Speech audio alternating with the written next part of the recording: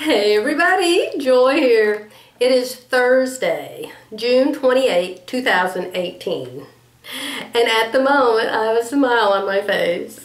But in real true life, I'm about to kill two cats. We're supposed to be leaving town. I came up here for um, cataract surgery on my eyes. As you know, I'm at my Edmond home. Uh, you guys that watch me all the time. And I came up here to see the eye doctor about getting the cataracts off my eyes. Well, wouldn't you know, something happened at the hospital where they do it, and some pipes broke or something. And so they had to cancel all the surgeries until the pipes got fixed. Therefore, surgeries are all backed up for an entire month, and I can't get my eye done until July 24 on my first eye, and July or August the 7th on my other eye. And listen, ladies, tell me, those of you who have had your cataracts removed and lenses put in, what lenses did you get? I have my choice between both eyes far away, one eye close, one eye far, or the $6,000 Symfony lenses, which are all distances. So I've read bad things about the Symfony lenses, um, that there's like starburst and rings and crazy lights or something. I have that already. so I don't know. Tell me what you got and if you like it, okay? Anyway, I had a request to show you how to do the pocket on the Jalie jeans. You have to buy the pocket separate. I don't know, it's real cheap, $3 or something. And then you download the instructions. But I have made this pocket three times, and every time I have messed it up. So I'm going to tell you why it is so hard to understand.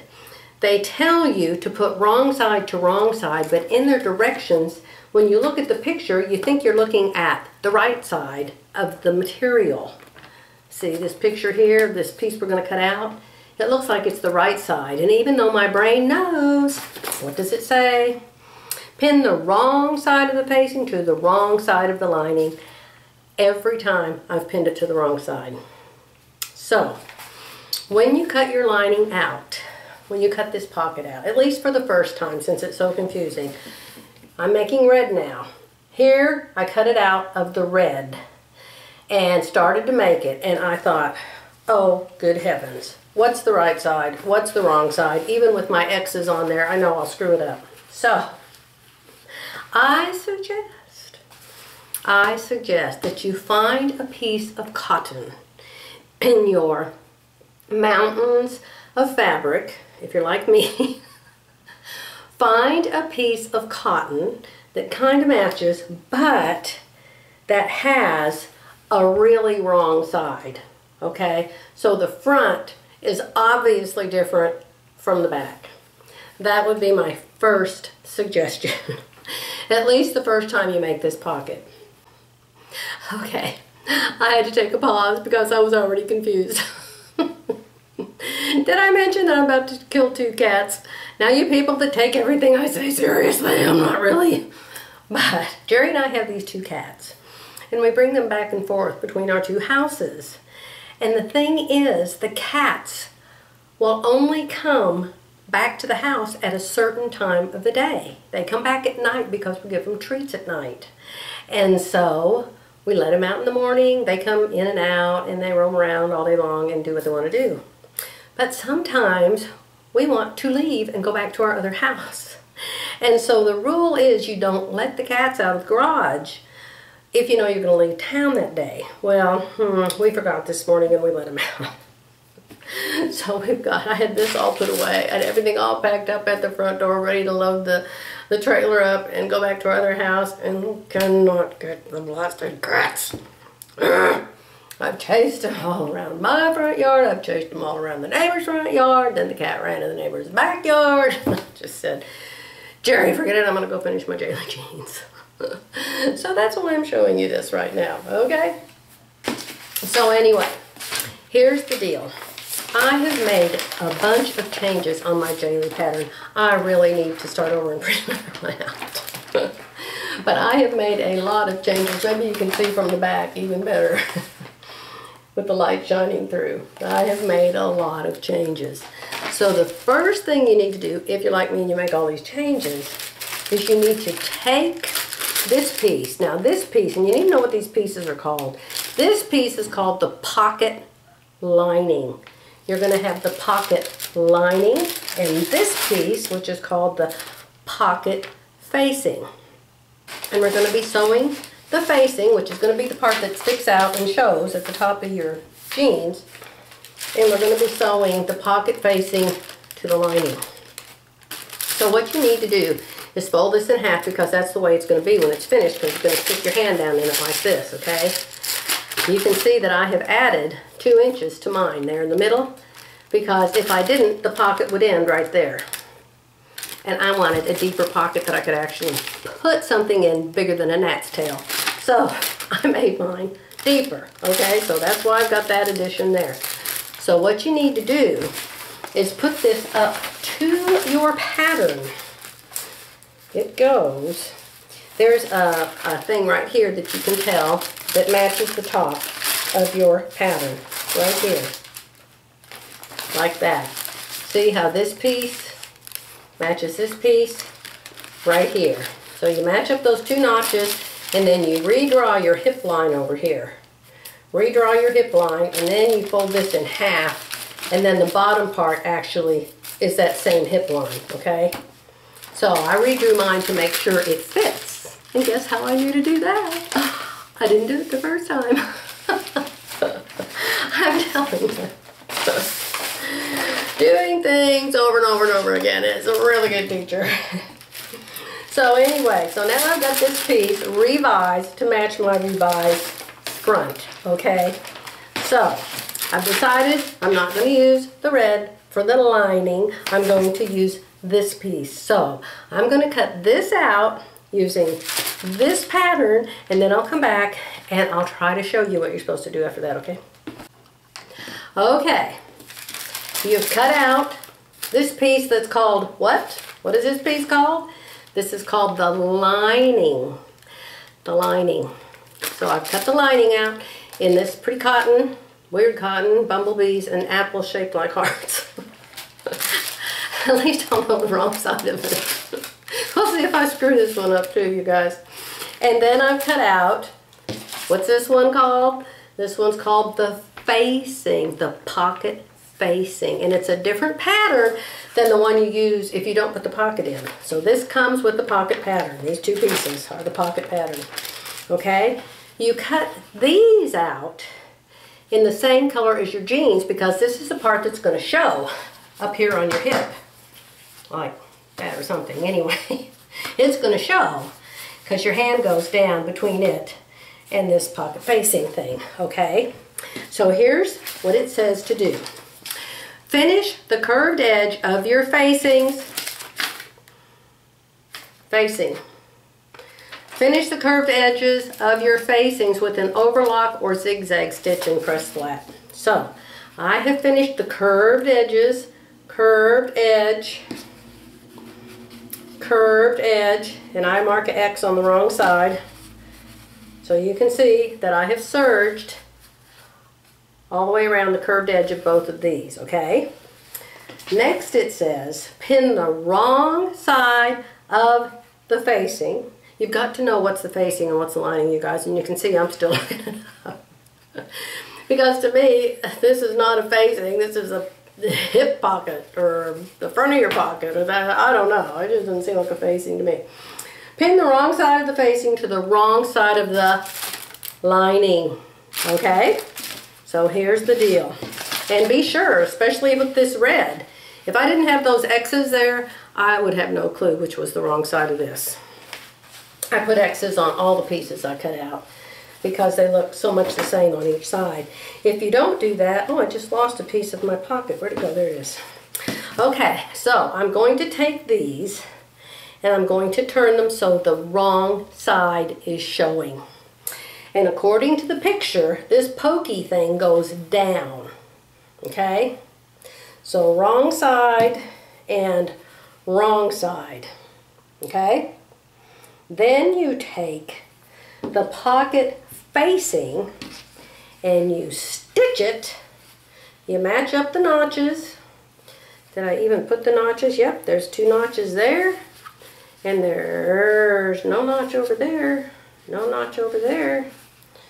Well, why don't I have a notch there? because there's not one.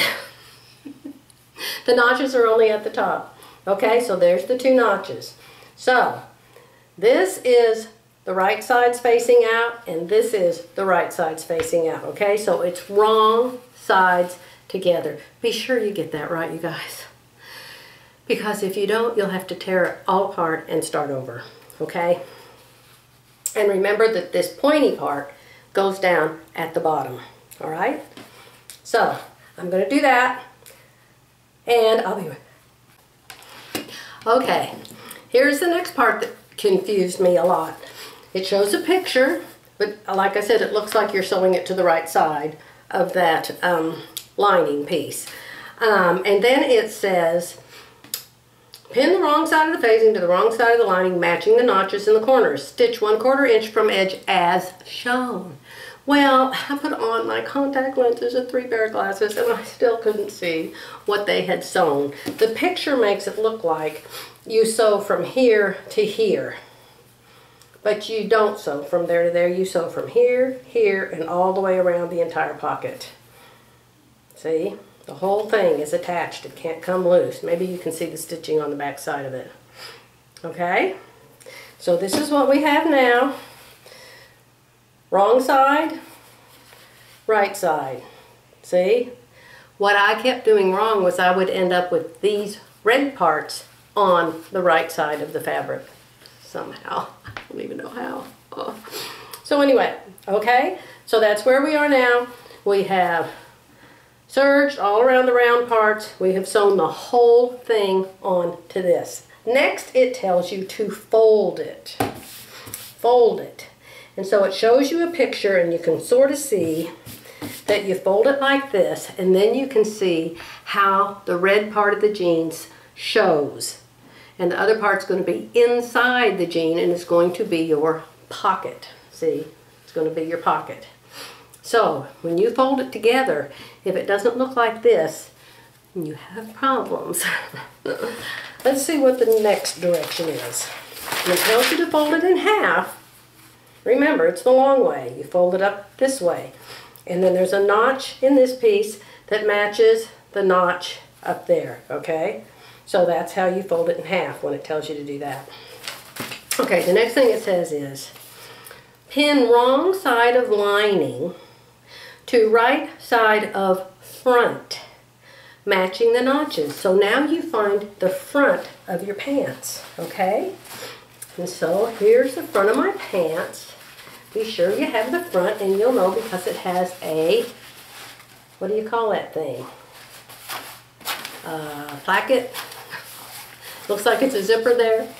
So here you've got the front. You can see up here where we've got places to put pockets, okay? So it says, Pardon my runny nose, y'all. Pin wrong side of lining. All right, where's the lining? Here's the lining. So we're going to pin the wrong side of the lining. Two, pin the wrong side of the lining to the right side of the front. Okay, let's try this again. wrong side of lining to right side of front. Then this flips completely to the back okay? And then this flips up. So it's right. It's right, it's right, it's right. so when you're sewing it on to the front of the pant, you're not going to be able to see the red top of your pant. Here's the red top of the pant and you can't see it. Because you have wrong side to right side. This is really important. Now we're going to sew around here. This is the facing. Only they call it the lining. To me, this is the facing, but they call it the lining. We're going to sew around here, like the like when they show you how to sew the jeans. Boy, that girl's good, you know it. But she has a flat table, so you're going to sew around like this. Okay? And then you're going to clip it, and you're going to turn it, and you're going to press it, and you're going to get everything to the other side. So I'll come back when I have that done, okay? Okay. Here we are. I don't know what page we're on here, but what, we're at this one right here. And it's pretty understandable if you've got this attached right. So you sew 3 8 inch around here, okay? 3 8 inch. Then the picture shows you to clip the curve, clip the curve to, but not through, the stitching so you can stretch it out straight like that, okay? Here's the back. See? And we're fixing to flip this whole thing around to the back. Okay? So, I'm going to, I've got them both sewn on. Here's the other one. Here they are, both sewn on the front. See? And the pocket, the red piece is underneath here. Okay? Does that make sense? Alright, so I'm going to flip this curve over here. And my iron's in the other room, so I'm going to have to go in there to press this and turn it. I don't think you should have to trim it when it's 3 8 inch. Did they say trim it? They say trim and clip. So I like to trim with the rotary cutter, so I'm going to trim it down to a quarter inch. I'm not going to serge it because it's going to be inside. It's going to be turned inside so it won't fray.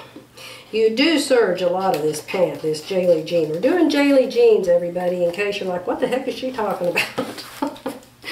and the Jalie jeans come with two pockets in the back but none in the front. But then a whole bunch of people like me that love pockets said, we want pockets, we want pockets. So they made a separate pattern just for the two front pockets to the Jalie jean. So that's what this is. This is a separate pattern and it has separate instructions, only they're very hard to understand, in my opinion. And one of you asked me to show you how to do it. So I'll be back in a minute after I get it pressed and turned. Okay, here's a real important step. Now I have pressed this and I've turned it to the other side. But you can see a little bit of yellow sticking out here and there. Just a little bit. So even though it's turned, and it could work. They tell you, and I agree, you need to understitch. So understitch means that you take this yellow piece and you sew it, you pull the seam toward the yellow piece, toward the yellow piece, so everything's over here by the yellow piece, and then you get on your sewing machine and you sew on the yellow piece. I'll come back and show you when I get it sewn. Okay, this is understitching. See the red seam line up here?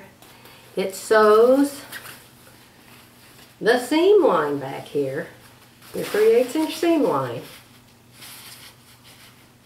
It sews it to this yellow piece, okay? And what that does, ooh, there, I missed a little bit of it, but we'll see. What that does is it makes it turn much better. So you can see now when I turn it to the back, some of the red comes around with it. And that's what you want because then none of that yellow will be peeking out the top. Okay, so now, what does it say to do?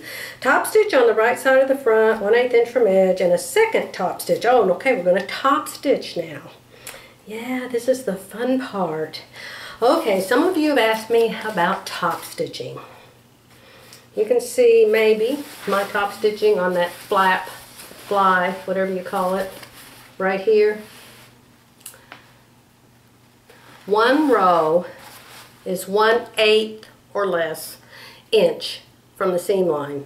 The next row is a quarter inch away from where your first row of stitching is. So your two rows of stitching should end up being a quarter inch apart. So I've been asked what foot I use. Well, I use whatever foot works. I have different sewing machines. In this house, I'm on second machine I bought in my life many moons ago. And this one, I like the um, regular foot, just the plain old ordinary foot I sew everything with. But what I do is I'll take a scrap of my material and I'll just draw a line and sew the two lines of stitching. And I'll see if I like the foot and I'll see how far, you know, your needle can move to the right, your needle can move to the left, and I'll see, maybe if I move the needle over one time, it'll be a quarter inch. Nope. Maybe if I move it over two times, it'll be a quarter inch. And if it is, I'll make a note on a piece of masking tape and tape it down so I can remember what the heck I came up with. And so I'll have one place I line the foot up to sew the first row, and I'll either have it in the center, the needle in the center, or the needle to the left, or the needle to the right, whatever. Different parts of the pant you want it on the right, some you want it on the left. But do a practice. I turn my stitch up to three because I like my um, top stitching to be a little bit wider, so I turn it up to three. Okay? So, just practice until you get something you like. Try your open toe foot. Try your edge stitch foot. I've done it with the edge stitch foot for the really stitch really close to the seam, and then I've used a different foot for the wider part. So, just do some experiments, see what you like. Write down what you figured out, because if you're like me, you're going to forget it five seconds later. okay, so I'm going to go and um, let me see, surely you don't top stitch it before you sew it on there. Understitch, bring seam allowance towards the lining and stitch taking up all the layers. Top stitch on the right side of the front. Yeah, I guess you do. They want you to go ahead and do the top stitching before you um, sew this all down. So when you've got it to this point, everything's flying around loose back here. You're going to go ahead and top stitch the top of this pocket right here, okay? So I'll go do that. I'll come back and show you. Okay. Both edges are top stitched. I never know what you can see till later when I look at it. So I hope you can see that both edges are top stitched with the two rows of stitching. See? And here's the inside. And both pieces are still flopping around in the wind. See? They're still loose.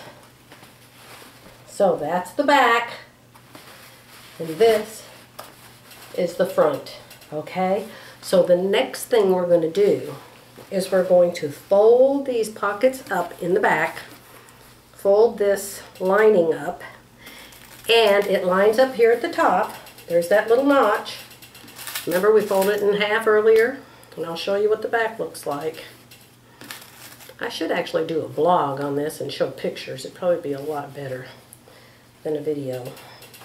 Then over here on the edge, it lines up over here on your hip line. Pockets folded in half. Now if it doesn't line up exactly, don't be like me and get all bent out of shape over it. Just line it up as best you can. That's a Sandra Betzina term. okay, so what we're going to do is we're going to sew this inside seam together. The one that if you didn't sew it together and you put your hand in your pocket, your hand would just slide right on through. So we've got to close it up. But they have kind of a funny way they do that, so I'll show you what they do. Let me line this one up. This one lines up better than the other side. Of course, my jeans are different on each side, you know. One is a low hip, one is a high hip. So it throws the curve off just a hair on the right side because I had lined the pocket up with the left side when I made the pocket. Okay, so this is what we're going to do now. And the directions are there. Let me put a pin to hold this steady. Someday I'll learn how to do the camera up in the air like these other ladies do. I don't know how they do that. Okay, so this is the front. This is the back. This is the back now, okay? We're to sew this right here, the pocket's loose. We're to sew this and we're to sew this. And we're just to sew it 1 8 inch.